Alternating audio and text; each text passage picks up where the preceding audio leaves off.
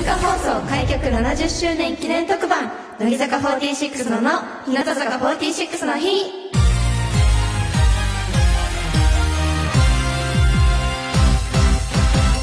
乃木乃木坂46のつやえめです。乃木乃木坂46のセミアレイです。乃木日向坂46の上村ひなのです。乃木日向坂46の高橋みくにです。今週の乃木ののは文化放送開局70周年記念特番乃木坂46のの日向坂46の日を私たち4人でお送りします。イエーイえー出演を予定していた田村真由ちゃんですが新型コロナウイルスの濃厚接触者の可能性があるため、えー私セイミアレイが出演することになりました。よろしくお願いします。おお願いします乃木ののと日向日のコラボです。はい、はい。いやー私たちはほぼ私は喋ったことなくてひなのちゃんはね、学校が同じなのでちょっと喋ったことあるけど、同級生だもんね。そうそうそう、ちょうどね年齢も2人ずつ多分一緒で。あそうそうそう私はみくにちゃんと一緒で、ね同い年えーもうでもさ最後に2人に会ったのが3年前？会ったっていうか喋っちゃんと喋ったのが3年前ぐらいだから私まだねひーちゃんが中2ぐらいの記憶で止まってるのよ。そうだひーちゃんって呼んでたっけ？そうひーちゃんって呼んでた。いやーひーちゃんすごい懐かしいなんか。かわいい。関東組で私たち3そうだね人は三人はよくい一緒だたけどったので。ねうん。ラーメンは名古屋だったから。うん。何枚みくにちゃんって言っていいのかなっていうぐらいのえ全然呼んでください。みくにちゃんは本当に初めて言葉交わしました、今、うん。へえ。ちょっと緊張してます。でも同期なのでね、うん。仲良くやりましょう、はい。お願いします。お願いします。えメールもたくさんいただいてたのでせっかくなので、ここでいつ紹介したいと思います、はい。はい。栃木県達郎さんありがとうございます。ありがとうございます。乃木坂日向坂のメンバーの皆さん乃木そしておひ。おいしい坂道グループのコラボということでお互いのグループの推しメンを教えてほしいです。そのメンバーと交流はありますか？え気になる確かに。ありますかね？えじゃあ私からはいどうぞみくにちゃん私はあのまずアイドルになろうと思ったきっかけが、あの乃木坂46さんの斉藤飛鳥さんなんですけど、関わり交流とかはほとんどなくてその一方的に見かけるとかなんですけど、4期生さんの中だったら、私松尾美優ちゃんと仲が良くて、あー。あよく聞くなんか遊びに行ったとか。そうなんです。推しメンです、えひなのちゃんはどう？えー、皆さん好きなんですよね。ちょっと。ずるいぞ。ずるいよね。ずるいよね。決めて。どうしよう。でもそうだな。それこそあやめちゃんとは結構お話しさせてもらったりとかはい。あらまあ。ら好きかな。やだレイちゃんも。なんかレイちゃんも好き。レイちゃんはひなのが学校に行った時に、うん。その同じ学校っていうのを知ってたから、今日話したって聞いて、うん。話したとか言ってくるんですよ、好きじゃん。それがすっごい可愛くて。そうだった好きなんだよね。そう好きなんだ。全然気づいてなかったよこの子。疲れてたことに。嬉しい。これか恥ずかしいななんか。まだ1年あるからね2人は。そうだ確かに、えそうだね。喋ろういっぱい。喋ろうね。ね え同じクラス？同じクラスだったよね、あ同じクラスなんだ。そんな学校すごいな。あれおいしみくにちゃんって学校一緒だっけ？私。違違ううか。もううん。把握してないのよ。じゃあ私たちの推しメンは。私たちの推し気になる。日向さん。えー、えこれ確かにちょっと選んでって言われたら難しい、だよね私あでも推しメンなんですけど、はい。あのファンの方に、私とあの佐々木美玲さんが、よくなんて言ったらペアで推してくださる方も多くて、なんかそうですね同じシンパシーを感じます、確かになんか明るい感じとかすごい似てる気がするん。ですよ、あんまりでもまだコミュニケーション取れたことがあんまりないので、でも絶対喜ぶと思います。本当？ちょっと伝えておきます。嬉しい、ね、なんか会う機会があったら。うん。確かにそうだね私は個人的にお顔が好きなのは、川手ひなさん。でも雰囲気似てる気がする。あ本当？確かに。した感じが、す乃木坂にさ、うん。あの川田さんの写真集がいっぱい届いてて、うん。メンバーの楽屋で見てました。絶対喜ぶと思います。それもね伝えておきます 今日はいつもと違って「ハッシュタグ乃木野のひなた日」でいっぱいツイートしてください。乃木は漢字ののはひらがなです。日向は漢字日はひらがなです。今回は乃木坂46の「の」と日向坂46の「日」のコラボということで乃木の「の」と日向日でお送りしているコーナーを私たち4人でやっちゃいます。乃木野のからは乃木野のハイレベルトーク頑張らないと広がらなそうなキーワードをもとにハイレベルなトークを広げるコーナーです。日向日からはこれって私だけってか？これって私だけかもと思っていることを募集。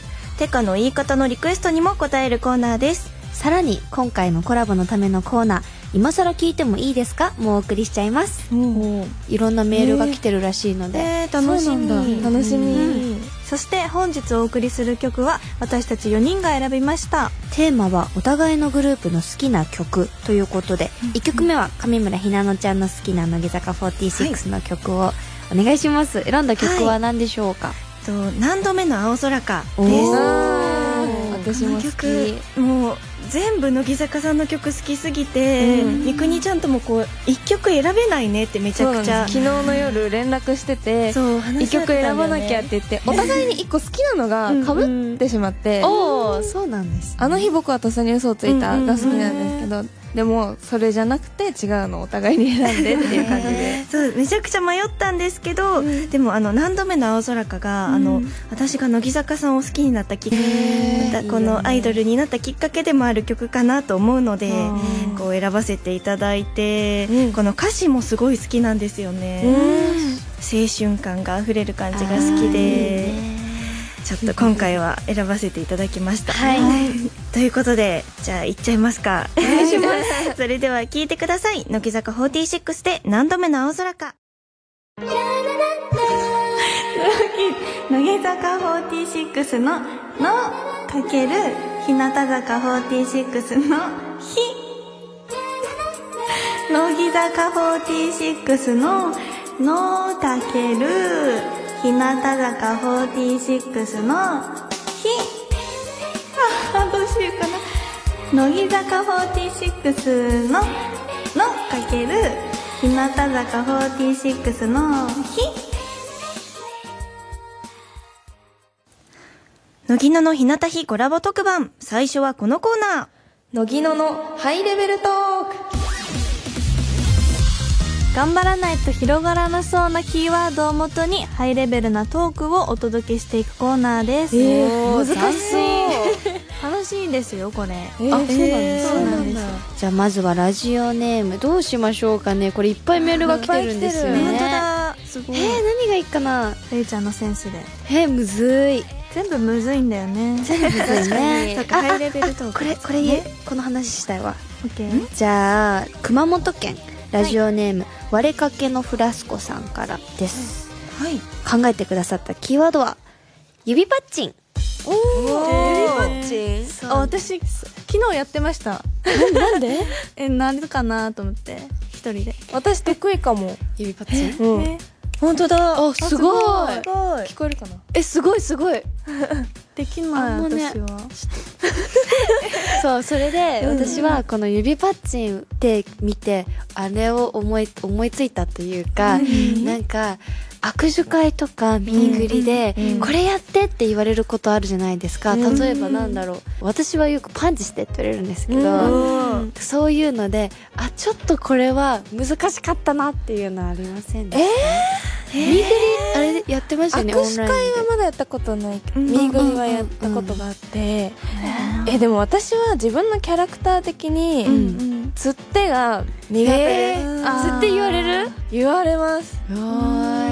ねなんかでも日向さんのファンと乃木坂のファンだとさ、うん。どういうなんか違うのかな、求められるものでも日にちとかが被ると、うんうん誰々さんの乃木坂さんの行って来ましたっていう方とかもいたりします、私あの質問考えてがちょっと困っちゃうな。あー ありました。あとあのミーグリで結構あだ名っぽい名前で来るのに、うんうんうん。あだ名考えてって 確かに。結構困っちゃいます、あれあれちょっと私も不思議でした。これがあだ名じゃないんだって思って、そうそうそうそう。ちょっと困ってますね。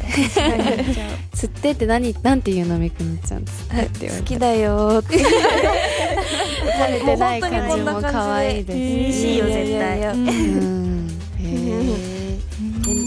ああそういう感じ？そう。なるほど。なさそうだなと思ったら鳴らしてくるなるほど。あそういうことね。でありがとうございます。えー、難しい。じゃああやめちゃんなんかあ私か。うん。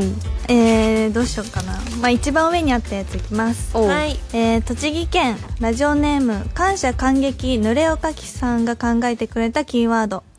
突っ張り棒ええ突っ張り棒私家に突っ張り棒3本あります。えー、私いいな結構違う3回買って3回目でようやくサイズがあったの、あ測れよって話だよね。なるほどね。そうだ私突っ張り棒で言うとうんお家にうん本来突っ張り棒がついてるところに突っ張り棒がついてなくてうん。でもそれをその住んでるところの人に言えなくてうんずっとえー、言えてないんだよねそれを。えじゃあ輪っかだけまだ放置されてるってこと？そうなのそうなの。えだからこう本来2本ついてるところを1本でどうにか生活してるって感じ、ー、怖っ。折れちゃうよ。そうなの。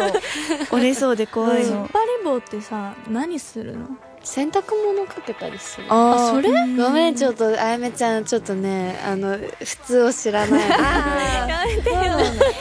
えー、でもなんか私は突っ張り棒をこう突っ張り棒？あと待って私突っ張り棒って間違えてたかも。洗濯物じゃなくない？突っ張り棒って。違う？え私もそれだなんか私あれじゃないあの突っ張り棒タオルとかけるやつもしかして。え？バネついてバネついてるやつ？違うよ。それは違うよ。あれ何あれ？何それ？バネついてるやつさ。バネついてるかあるじゃん。こうなんか引っ張ってさ一回こうやって一回押してうん。片方の壁に。でもう一個の肩壁にこうやってくっつく。やつ突っ張り棒って何？突っ張り棒。あの棚とかって、うんうんうんうん。棚にドアないから、んカーテンつけたいなみたいな時に、あめっちゃ細いそれか。それか、じゃあ間違えてた、ね私あれかと思ってた。なんかさ洗洗濯のねうんうんうん。干す時とかに使う。でもそれで使う人も多い気がする、え折れちゃわない？いや全然太い。このこのぐらい。そんな太いやつもあんの？多分これ突っ張り棒じゃないんだよ何あれ。何違う気がする。洗濯。物干し竿物干しあれちゃん普通じゃないよ全然違う。間違えた難しいな。難しいあー意外と広がるもんですね。ね4人だとね。2人だとさいつも2人でやってるからさ、あそうなんだ。あんま広がんないの。そっか。4人だと楽しいねあそうですね。えー、続いて。えー、なんかいっぱい。どうしようかな。えー、じゃあいきます。はい。愛知県ラジオネームエブリデイ月指さんからいただきました。ありがとうございます。ありがとうございます。キーワードは、彫刻刀でお願いします。えー、彫刻刀か。小学生の時に使った以来かな。好きだよね。でも。確ななんで好きって何？好き私。えー。彫刻刀苦手私。えなんかさあの小学生の時にさこのいろんな柄？柄じゃないけどさ、うん。選んだよね、うん。書道セットみたいな感じで、え？セットはなかった？なんか好きなううん。んうん。柄、あるあるある。ポーチみたいのを選べるみたいな。うんうんうん。何百円か持ってって、えー。あるよね何だったの？私なんかねちゃんとシンプルなの選んないあの竜とか選んでない。男の子選び選びがちね。彫刻刀か。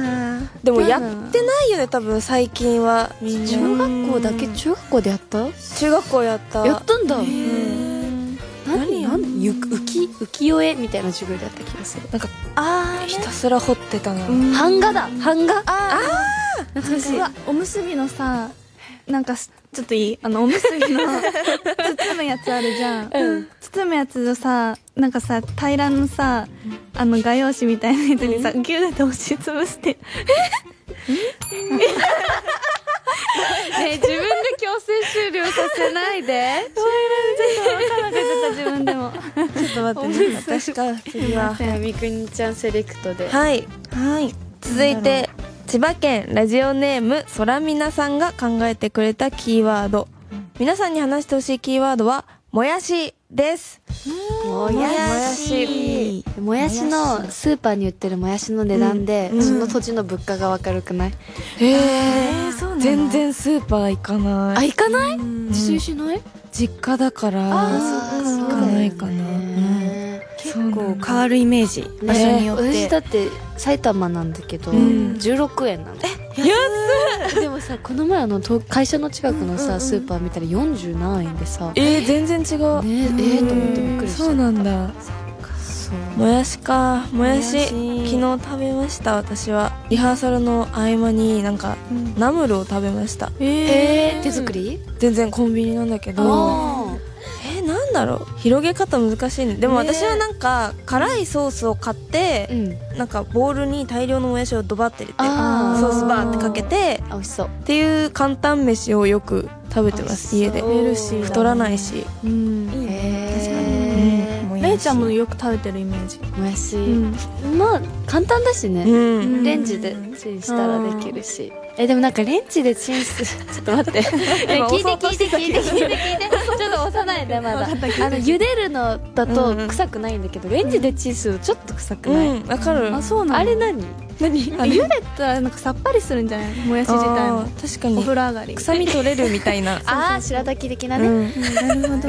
あいいよ押して。もうもうあの満足しました。あよかったすいません。はい。2通あと。じゃあ選んでもいい？私。はい。おじゃあこれえー、ラジオネーム屋根裏の月面ち吉さんからです。キーワードはモップかけ。あ皆さん中学校はどういう中学校とか行かれてました？中学校？でも大体なんか運動部の子はやってるイメージだけど私吹奏楽部だったのでー無縁ですね。掃除の時間とかやらない？モップ？モップってあれか体育館とかでしかやんうないか、ん。そうだね。あんまりやったことないかもあのさ私たちリハ室結構一緒のとこ使うじゃない、うん。ああるよねあるよね。もう私2回ぐらいかけたよねやったよねなんか一緒に。なんかルなんかンバもあるじゃん。ある。うんねあれ。あそこさなんか結構綺麗だけど謎に埃生まれるすごい。よねあれびっくり。なんか多大きい。分女の子しかさそこほぼ使わないからさ髪の毛も落ちるしさ、確かに、面白いよ、うん。二人でかけて、ねえねね。結構なんか3期生同士でうんうん。取り合いっていうかなんかうん。後輩がやらなきゃみたいな感じでよくやったりはしますけど、偉いね。ねいえいえい学校で嫌だったうん。掃除当番。私あの雑巾の空拭きがすごい嫌で。空拭きなんかする？空拭き？ええ床拭かない？水ぶ水水濡らし濡れたやつで。水じゃなくてワックスの次の日しか空拭きはなかった。あそうなあのー。確かに。あれ嫌だよね。だってさ私たちスカート履いてるじゃん女の子で。えでも掃除の時間体育着着てたよ。あ本当、うん。ガチ勢だ。私もジャージ履いてたえー、みんなガチ。私制服でて。えガチだね掃除に、確かに。公立の中学校だったからあそうなんだ、うんえなんかうちの中学校だけなのかな、制服の下に体育着着てたんだけど、あ中学校は着てた、ねスカートが長いから見えないから。そうそれでしかもなんかみんなで一緒に着替えれるように、うん。もうなんか体育着は下着ですみたいな、なんて言ったらいい？わかる。もうそんな感じだった。頭いい。ね。それみんなでも でもみんなねワイシャツからだからね体育着のなんていうの？このこの学校のさ「うーって書いてあるロゴが透けてんのよ。ちょっとダサいよね いい感じにまとまった。えー、どうしようかな。はい。埼玉県ラジオネームそんなバナナさんが考えてくれたキーワード。セルフレジ。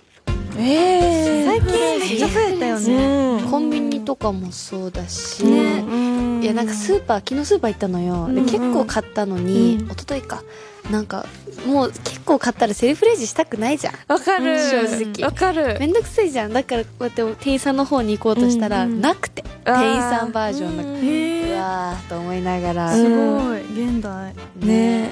確かに。ちょっとめんどくさいでもちっちゃい頃とかさ、うん。レジに憧れて、うん。ピッピッピって自分でやってた。あの、ピピピえなんかさ子供用のああるある。あれ台使ってやってた、へえ好きだった。バイトとかしたことある？ない。まあないよ。そりゃそうだようん。ねないね。高校中学中学でオーディションの時中3とかだったからね。か。そりゃしたことない中かでもやってみたいなアルバイト。憧れる。何がいいかな。カフェの店員さんとか絶対似合うよね、うん。あーえ確かにーやってみたい。コーヒー好きだからな。やってみたいな。あーそうなんだ、うん。なんか球場とかで働いてさあ えそれこそレイちゃんじゃない？それいやいや。いや私はえなんだろう。バイトするの考えたことないな。うん。なんだろう。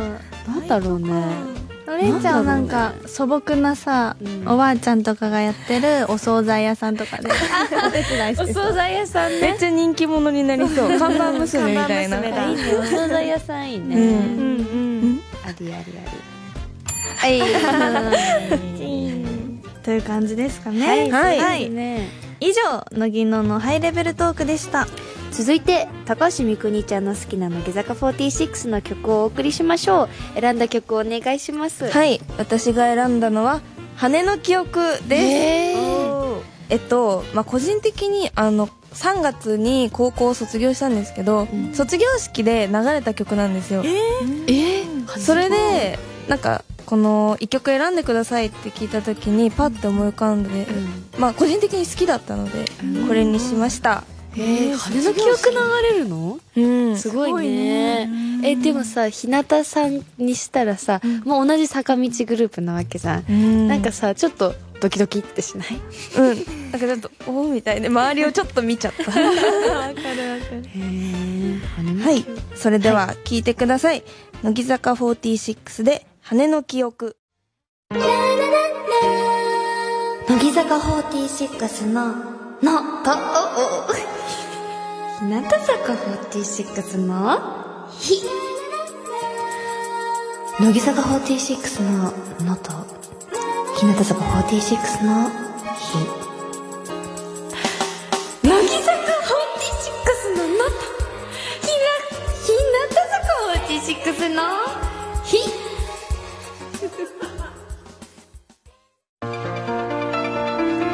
あの日僕はとっさに嘘をついたを聞きながらお別れの時間です。えー、嬉しい。嬉しい。お二人が好きということで、話してよかったね。です話してよかった、ね最後にかけれてありがとうございます。いえありがとうございました。あのまずわざと可愛いジングル、うんどうでした？わざと可愛い。あきの3つ、うん。うん。すごいよね。あれ。うん。できないできない。やっぱさすがだなと思いました。結構さ重くくるよね。うん。重くくる。でもなんかそういう無茶ぶりとかって、ん。なんかちゃんと日向さんってうん。ちゃんと面白くいつもやって、いやいやいや。それは避難愛で鍛えられました。あのもうぶりっ子企画をやるぐらいなのでラジオでも結構覚悟はしてます すごい私たちは。尊敬します。慣れないながら頑張りましたね。でも素晴らしかったです、うん可愛かった。すごい可愛かった。本当になんかれいちゃんのは面白かった。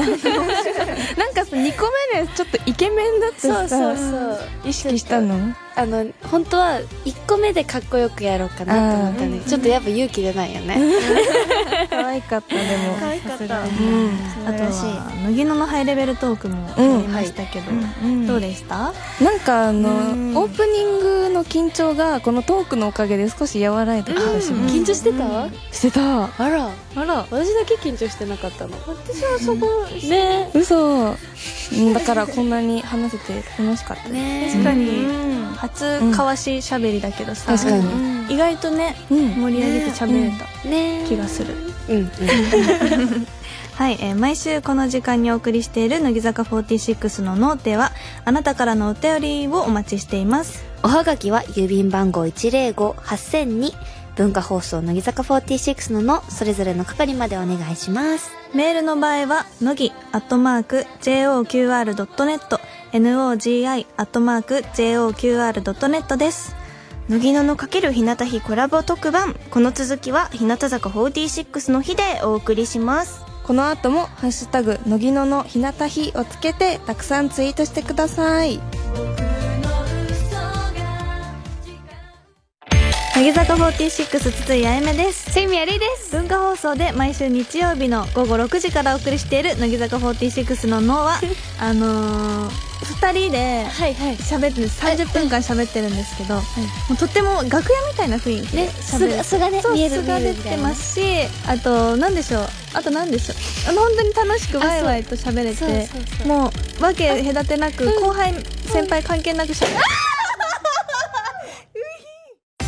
日向坂46の上村ひなのです。高橋みくにです。この後始まる日向坂46の日は？えっ、とですね日向日とあの略すのですけれども、はい。あのそうですね日向坂46のメンバーが文化放送にてこう週替わりで2人ずつこうね喋ってはいどうぞみくにさん、あのライブの裏話だったりあとプライベートでのエピソードとかも本当にいろんなことについて話しています。そうなんです